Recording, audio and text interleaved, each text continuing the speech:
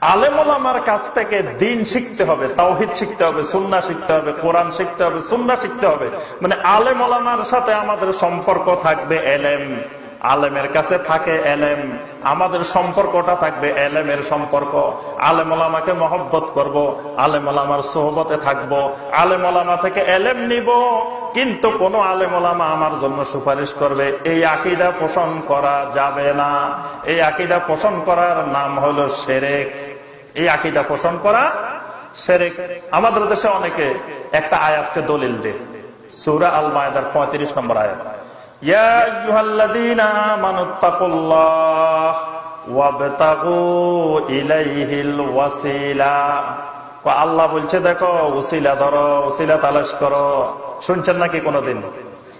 অনেক শুনছি আমি। আমি যে কদিন আগে ওমরা গেলাম, জাবালে নূরে উঠলাম, জাবালে নূর। যেখানে প্রথম অহিনা দিলেছে জাবালে নূরের গাড়ে হেরা। তো উঠে যখন নামতেছি, নামার সময় দেখি যে এক পাকিস্তানি মাথায় হলুদ পাগড়ি পরা তো ও আমাদের সাথে নামতেছে তা আমি হলুদ পাগড়ি দেখে চিন্তা বুঝলাম যে এটা কোন পীরের মুরিদ পাকিস্তানের। তা জিজ্ঞেস করলাম, ভাই, আপনি কোন পীরের মুরিদ খবর তবর নিলাম।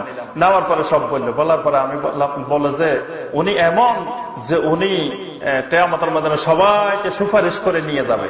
আমি বললাম না আউজুবিল্লাহ তো বলল যে, কেন না আউজুবিল্লাহ বললেন? তো আমি বললাম যে যে কথাটা বলছেন, এটা তো সেরেক। তো সে আমাকে সাথে সাথে বলতেছে, আল্লাহ ফরমায়া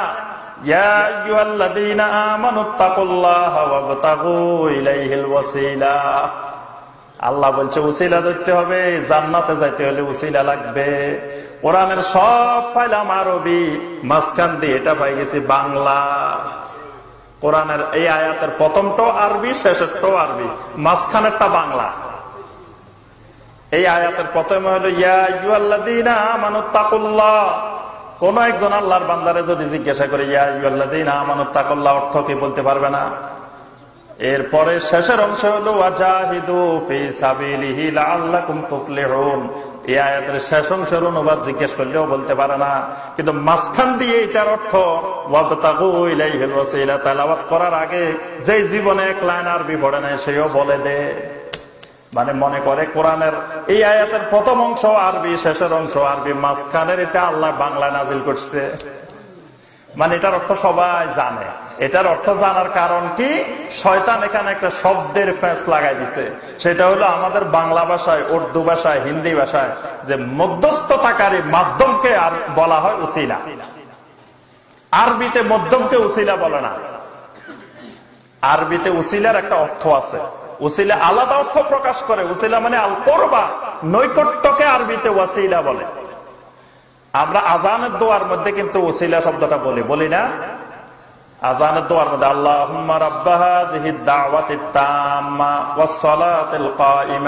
আতি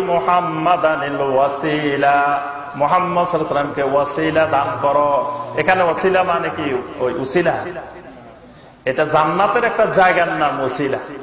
আর এই আয়াতের তাফসিরে সমস্ত তাফসিরে তবারি ইবনে কাসির যত আছে, সব লিখছে যে অর্থ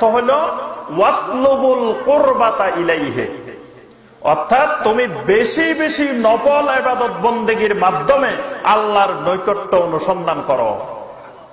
আল্লাহর কাছে চলে যাও কিসের মাধ্যমে? নকল এবাদত বন্দেকে মানে ফরজ এত্তাকুল্লাহ মানে ফরজ এবাদত আর ওয়াসিলা মানে নফল এবাদত মানে তুমি ফরজকে যথেষ্ট মনে করি বসে থাকিও না।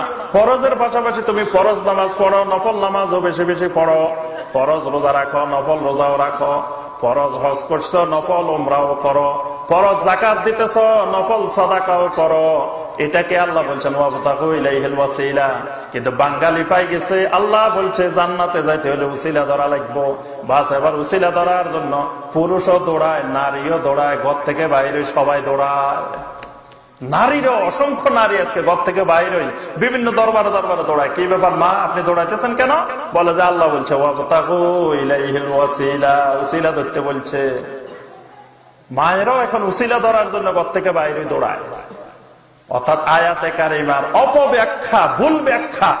আল্লাহ পাক কোন মাধ্যম ধরতে বলে না মাধ্যম হলো ইমান আর আমলে সলে জান্নাতে যাওয়ার মাধ্যম হলো ইমান আর আমলে সল কোন মানুষ জান্নাতে যাওয়ার মাধ্যম না।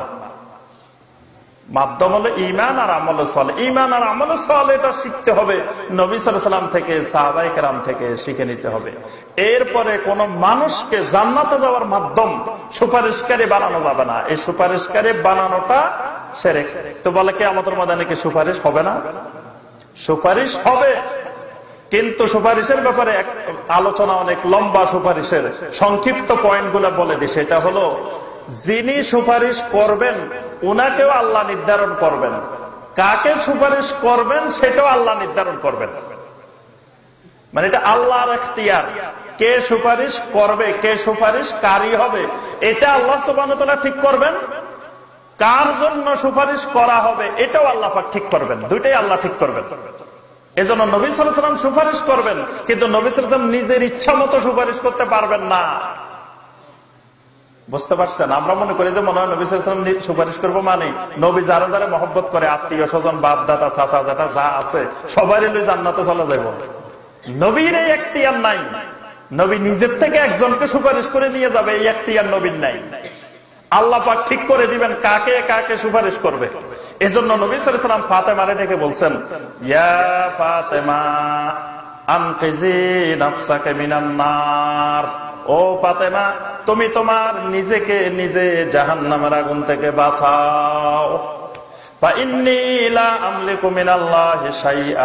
কারণ কেয়ামতের ময়দানে আমি রাসুল তোমার জন্য কিছুই করার মালিক নই। যেখানে যিনি রহমতুল্লাহ আলমিন, যিনি সাইয়দুল মুরসালিন, যিনি কেয়ামতের ময়দানে কথা বলার প্রথম অনুমতি পাইবেন, যিনি আল্লাহর সামনে কথা বলার সাফাতের অনুমতি পাইবেন, সেই রাসুল সেই রাসুল কিন্তু আল্লাহ রব্বুল্লা আলমিনের অনুমতি ছাড়া কোনো কিছু করার বিন্দু মাত্র মালিক নন। আল্লাহ কোন কিছু করার বিন্দু মাত্র মালিক নন। যেখানে নবিসাম বলতেছে পাতেমা তোমারে আমি কিছু করতে পারব না। তুমি তোমার নিজেরে নিজে যার নাম থেকে বাঁচাও। সেখানে আমরা কারও আশা ধরে বসে থাকলে লাভ হবে? আমাদের সমাজে দেখা যায় অনেক ভাই কোটি কোটি টাকা ঘোষ খাইছে, সুদ খাইছে, হারাম উপার্জন করছে, আরেকজনের হক মারি দিছে। শেষ বয়সে আসে মনে হয়েছে, হায় রে, আমি তো অনেক অপরাধ করে ফেলছি, এখন কি করা যায়? তখন কিছু কিছু ব্যবসায়ী, ব্যবসার বিরাট বিরাট মার্কাজ বানাই কেন্দ্র বানাই বসে রয়েছে। বলে যে, তুমি যা ঘুষ খাইছো, যা সুদ খাইছো, যা হারাম উপার্জন করছ, সেখান থেকে কয়েক কোটি টাকা আমাকে দিয়ে দাও। বাস তোমার জান্নাতে যাওয়ার দায়িত্ব আমি নিয়ে নিলাম, নাউজুবিল্লাহ।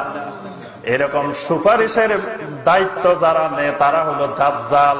আর যারা সুপারিশের জন্য যাবে, তাদের ইমান শেষ, তারা মুশরিক। তাহলে একটা পাইছেন সাফাতের সেরেক। আমি সংক্ষেপে বলে যাই, কয়েকটা গুরুত্বপূর্ণ সেরেক। দুই নম্বর সেরেক, কবর কেন্দ্রিক সেরেক। আমাদের দেশে বড় একটি সেরেক হলো কবর কেন্দ্রিক সেরেক। কবর নবী করছেন করছেন, নবী জীবদ্দশায় করছেন বরণ করছেন। মুসলমানের কবর কীরকম হবে, কবরের কাজ কি হবে, সব কিছু নবী সালাম ব্যাখ্যা করে দিচ্ছেন দেখাই দিচ্ছেন একজন মানুষকে মাটি দেওয়ার পরে দাপন করার পরে, কবর দেওয়ার পরে তার কাজ হলো ওই মাইয়েতের যদি কোনো ঋণ থাকে, সেটা আদায় করে দেওয়া। যিনি মারা গেছেন, তার কিছু ঋণ রেখে গেছেন। তাহলে কি করতে হবে? ওই ঋণগুলো আদায় করে দিতে হবে। ওই মাইয়েতের কোনো ওসিয়ত রয়ে গেছে, ওই ওসিয়তগুলা পূরণ করে দিতে হবে। ওই মাইয়াত যদি দুনিয়াতে থাকাকালীন জাগা জমিন বন্টনের মধ্যে এলোমেলো করছে, ওইটা ঠিক করে দিতে হবে। এই কাজগুলো করা তার ওয়ারিসদের উপরে ফরজ। এবং যদি সম্পত্তি বন্টনে জাগা জমিন বন্টনে, যদি এক সুন পরিমাণ, এক কাঠা পরিমাণ, এক গন্ডা পরিমাণ, এক হাত পরিমাণ জাগা জমিনে যদি এদিক সেদিক করে, আল্লাহ রব্বুল আলমিন তার জন্য স্থায়ী জাহান নামের ব্যবস্থা করে রাখছেন। সুরা এগারো, বারো, তেরো, চোদ্দ। এগারো নম্বর এবং